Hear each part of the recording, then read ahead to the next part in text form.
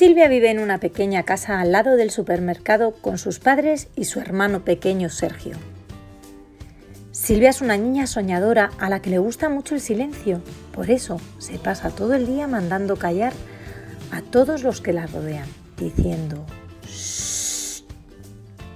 Para muchos es un poco rara, porque tiene una serpiente como mascota, por lo que los sábados va sigilosa a buscar saltamontes y sapos para poder alimentarla. Silvia está muy sonriente desde que nació su hermanito Sergio y se pasa el día susurrándole canciones sentada en la silla al lado de su cuna. Mientras Sergio está durmiendo, Silvia procura que todo en la casa esté en silencio.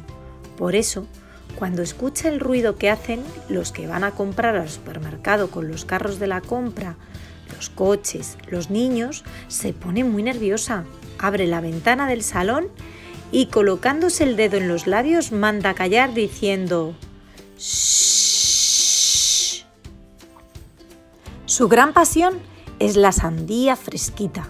Por eso cuando termina de dar de comer a su serpiente, se prepara un plato con una enorme rodaja de sandía que se come en un santiamén, para después, con la barriga llena, echarse la siesta debajo del sauce llorón que hay en su jardín.